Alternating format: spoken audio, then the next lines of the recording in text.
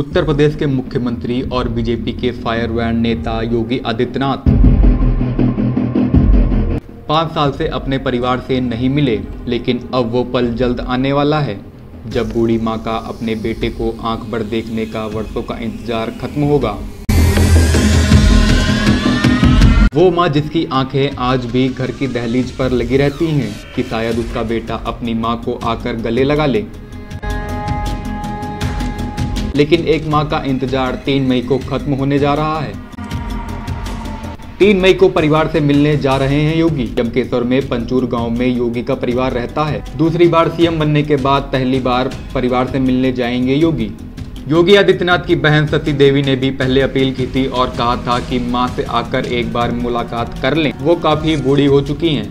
पिता के निधन पर भी आप नहीं आए थे। योगी की बहन पहले भी अपने भाई को याद करके भावुक हो पड़ी थी। खेलते थे, मारपीट होती थी, उनको मतलब समझाते थे।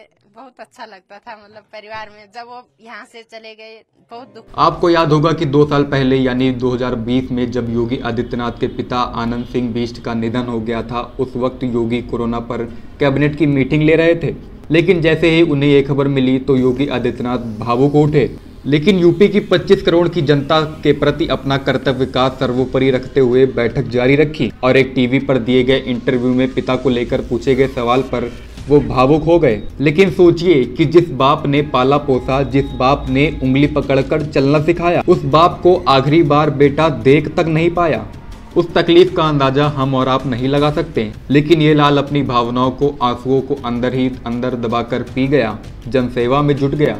लेकिन हाल ही में विधानसभा चुनाव से ठीक पहले जब एक इंटरव्यू के दौरान योगी से परिवार से मिलने को लेकर सवाल पूछा गया तो योगी उत्सुक हो उठे। उन्होंने कहा कि 25 करोड़ लोगों को ही मैंने अपना परिवार माना है। उन्हीं के सुख में सुखी, उन्हीं के दुख में दुखी। मेरी बात नहीं हुई है, लेकिन मैं चुनाव के बाद जाने का प्रयास करूँगा। माँ से मिलने को लेकर योगी कहते हैं मेरी बातचीत नहीं हुई, लेकिन मैं चुनाव के बाद जाऊँगा। मेरे पिताजी का दो साल पहले देहांत हुआ था। दुखद निधन हुआ। मैं तब से भय के मारे और संकोच के मारे भी बात नहीं कर पाया। लेकिन हाँ मेरी इच्छा है कि अपने माँ के दर्शन करना चाहूँगा। जो कुछ भी हूँ, उनकी कृपा से हूँ।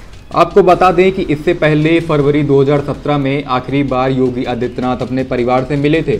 साल दो हज़ार चौरानबे में अजय सिंह विष्ट आदित्यनाथ योगी बन गए थे।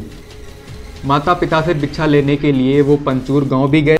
उन्हें रोकने के लिए परिवार ने लाखों कोशिशें की, लेकिन वे नहीं माने। योगी आदित्यनाथ की माँ को जब पहली बार उनके पिता आनंद सिंह बिष्ट ने सन्यासी बनने की जानकारी दी तो उन्हें यकीन नहीं हुआ। योगी की माँ ने बेटे को मनाने के लिए गोरखपुर के लिए ट्रेन पकड़ी। वहाँ उन्होंने योगी को मनाने का प्रयास भी किया। लेकिन तब योगी आदित्यनाथ ने कहा था कि मैं छोटे परिवार से अब बड़े परिवार का सदस्य बन गया हूँ। लेकिन दोस्तों, अब एक माँ अपने बेटे को जी भर कर देख पाएगी। इस खबर में फ़िलहाल इतना ही। तब तक के लिए दीजिए मुझे इजाज़त। नमस्कार।